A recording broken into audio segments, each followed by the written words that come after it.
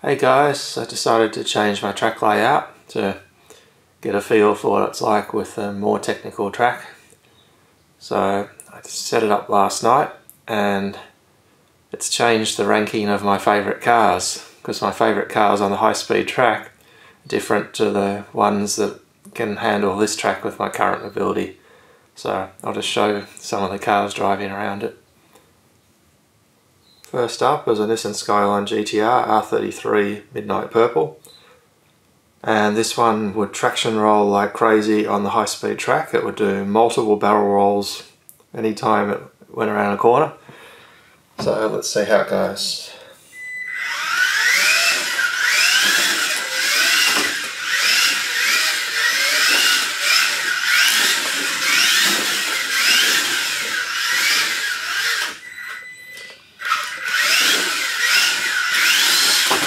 And it traction rolling still.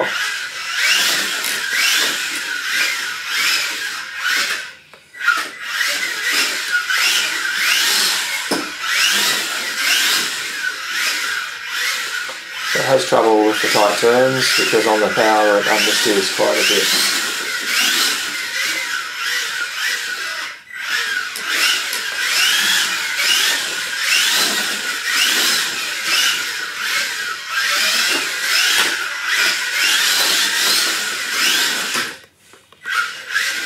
I'd not a good fit to the track. Next up is the Lexus SC430 Petronas.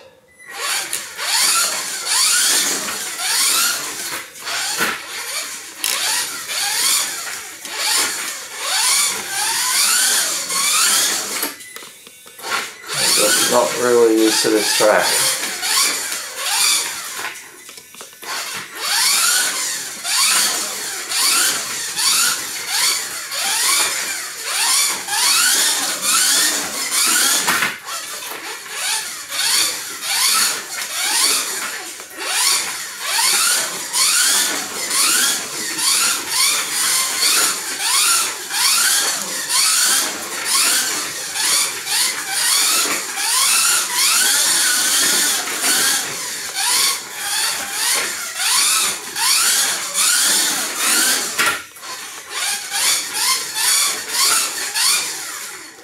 An improvement over the Nissan GTR, but um, probably not the best fit. We'll try another one. Next up is a Honda Civic Type R. Now this one's got a lot of potential because its front wheel drive layout might actually suit the track because you can put the power down in the corners and it will probably have a bit of um, wheel spin and traction roll which I think will help it get around the corners well rather than the cars that'll grip and turn sharply. So let's see.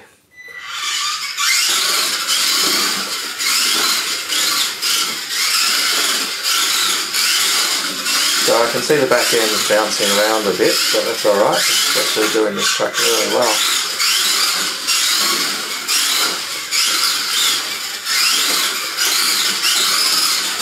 Yep, so the bouncing at the rear actually gives a bit of oversteer on the high speed corners, which is good.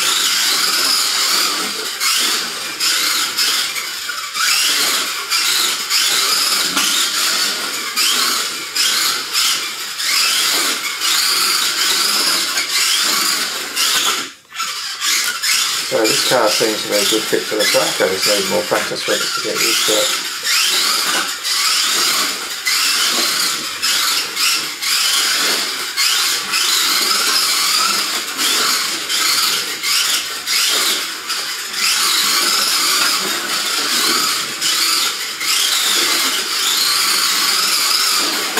Alright, move on to the next car.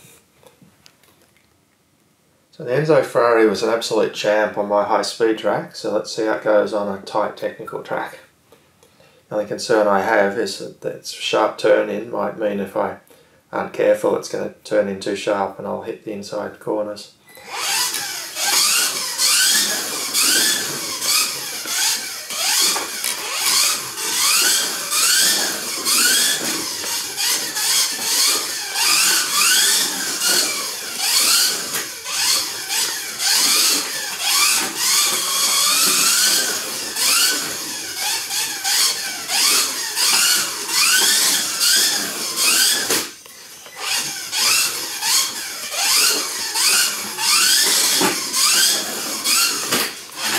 The car seems to work well on the track. It's got a good turning circle for the tight bits. And I think I just need more practice with it to get used to it.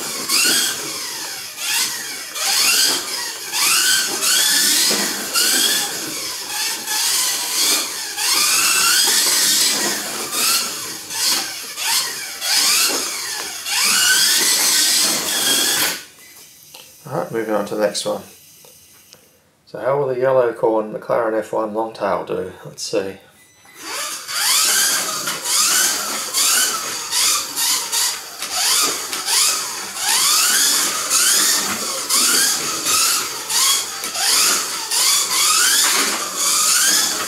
It's actually doing very well, I just need to get used to the feel of it. It's got good stability, it's got good turning where required.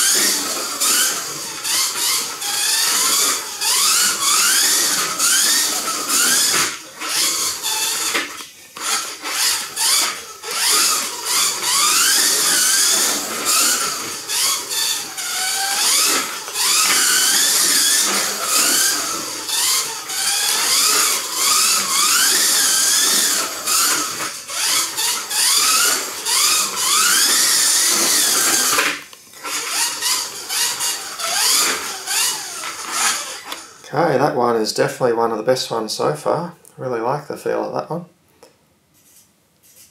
So how will the McLaren F1 short tail do? So with the narrow offset and shorter overhangs front and rear.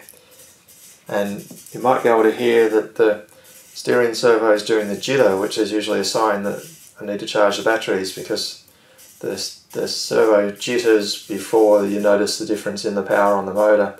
So that's the way I tell when it's time to charge the batteries. So let's give it a go.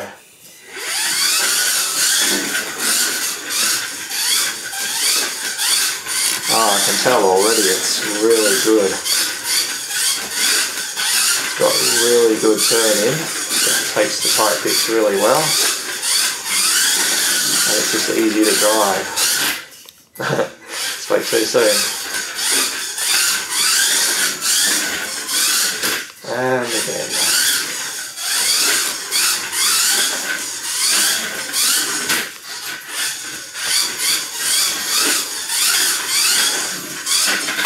Whoa.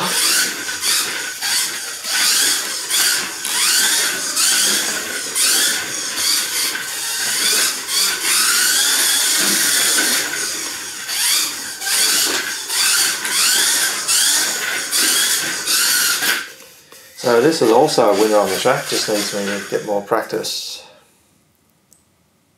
This is the last one I'm going to try in this session, so it's a Lexus SC430 test car black, 94mm wheelbase rear mount motor. So this one has a super super tight turn in, so I'll have to be careful of that because at low speed it will just turn in so sharply.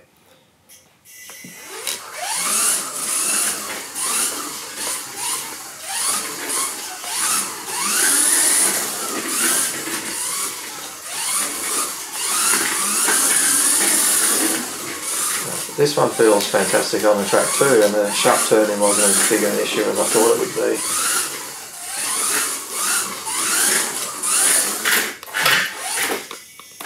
But once again I need to practice